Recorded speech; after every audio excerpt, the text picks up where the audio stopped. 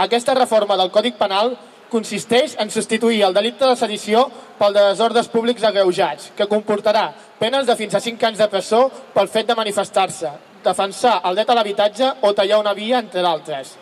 També la condemna mínima de dos anys passa a ser de 3, fet que comporta entrar a presó. El que ens estan dient és que ara, per aturar el desnonament d'una companya, per assenyalar la seu bancària que l'està fent fora o per encartellar la seu d'un partit polític, el que podem acabar és a presó.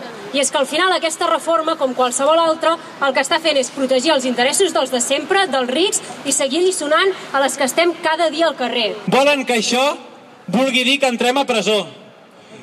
I ho volen el Partit Socialista, d'aquí n'esperem poc, i ho vol també Esquerra Republicana i els comuns.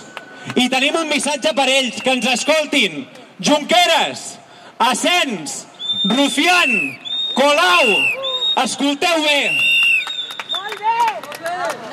O retireu els propers dies la intenció criminal de voler acabar amb la nostra lluita o seguirem aquí amb la mateixa fermesa en què ens hem enfrontat contra les immobiliàries, contra els bancs, ho farem contra vosaltres i no ens tremolarà el pols.